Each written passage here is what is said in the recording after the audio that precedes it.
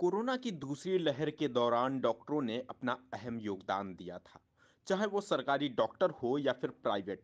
बहरहाल, उनके अहम योगदान को देखते हुए कानपुर के प्रखर हॉस्पिटल में कोरोना योद्धाओं का सम्मान किया गया। प्रखर हॉस्पिटल की डॉक्टर शिखा कुशवाहा ने बताया कि कोरोना की तीसरी लहर आने की आशंका है, इसलिए सभी को कोविड गाइडलाइंस का सही से पालन करना होगा। उन्होंने बताया कि वैक्सीन तो लग रही है जिसका कोई दुष्प्रभाव नहीं है। फ़िलहाल लोग भीड़ भाड़ वाली जगह जानों से बचे। जी। सम्मान हुआ है? ये कोरोना वॉरियर्स के लिए हुआ है जिन्होंने कोरोना में काम किया है उनके लिए है। तीसरी वेव जो आ रही है तो किस तरह से लोगों को संदेश देना चाहिए? तीसरी वेव आने वाली है ये सब सुन रहे हैं और ये होगा भी। इसलिए आपको डिस्टेंस मेंटेन करना है और मास्क लगाना ज़रूरी है।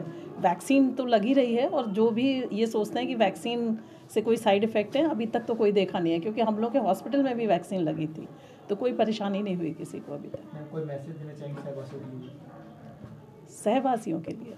बस यही देंगे कि बस आप मास्क यूज़ करें भीड़ भाड़ इलाके में ना निकलें।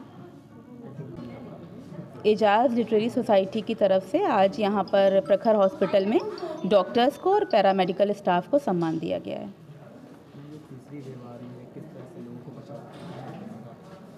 देखिए, हमने पहली वेव भी देखी, दूसरी भी देखी। ये कोई कहीं, कह, सुनी बातें नहीं हैं।